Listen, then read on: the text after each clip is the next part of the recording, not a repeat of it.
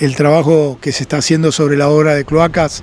Es un trabajo altamente anhelado en Sintra, muy significativo, en una comunidad donde siempre vivimos con napas muy altas y donde algunas inundaciones dejaron su huella, hoy es sumamente importante poder confirmar que el proyecto de cloaca es una realidad, gracias a Enrique Cresto, a Martín Gil, a la ENOSA, al Gobierno Nacional, Hoy hemos no solo firmado, sino ya recibido el primer desembolso y estamos a días de poder definir por concurso privado de precio la empresa que va a estar a cargo de esta trascendental obra. También trabajando en un sistema importante eh, para la seguridad de los vecinos. Sí, la verdad que cada una de nuestras localidades pequeñas, en el interior del interior,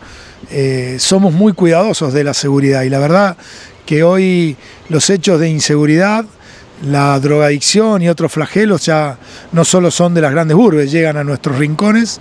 y ahí estamos previniendo, trabajando en conjunto con la policía de la provincia de Córdoba. La verdad que agradecerle al ministro Alfonso Mosquera por ese trabajo, al nuevo jefe departamental, a, a, cada uno de los agentes que trabajan en Sintra para darle seguridad a nuestros vecinos y tratando desde la gestión de poder colaborar con herramientas, en este caso con más de 30 cámaras, en un trabajo conjunto con la Cooperativa de Obras y Servicios Públicos de, Sintra, articulado con la policía para que estas cámaras puedan ir a lugares estratégicos y darnos a nosotros una posibilidad de,